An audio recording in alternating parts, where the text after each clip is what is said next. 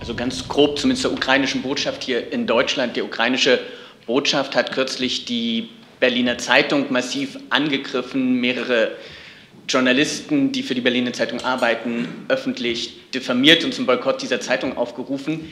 Da würde mich interessieren, wie bewertet denn das Auswärtige Amt diesen Eingriff in die Presselandschaft oder versucht er zumindest Eingriff durch die ukrainische Botschaft? Das scheint mir ja eher keine Ukraine-Frage, sondern eine Medienfrage ja gut, aber zu die sein. ukrainische Botschaft in Deutschland aber vielleicht gilt möchten auch als Sie ja Ukraine. trotzdem was dazu sagen.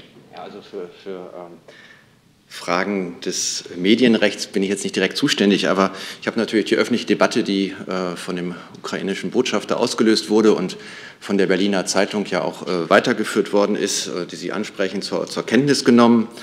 Und ich würde mal sagen, das sind Debatten, die in einer Demokratie mit Presse und aber eben auch Meinungsfreiheit geführt werden.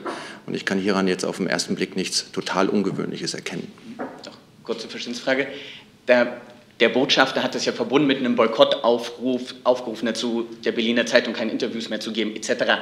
In meinem naiven Verständnis geht das über den normalen diplomatischen Rahmen raus, in dem ein Botschafter sich in Deutschland zu deutscher Presselandschaft äußern kann.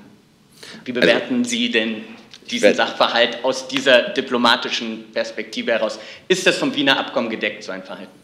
Also ich werde mich hier nicht in äh, eine rechtliche Textexegese des Wiener Übereinkommens über diplomatische Beziehungen begeben, aber ähm, ich sehe jetzt nicht, wie das im Widerspruch dazu stehen würde. Gibt es weitere Fragen zur Ukraine?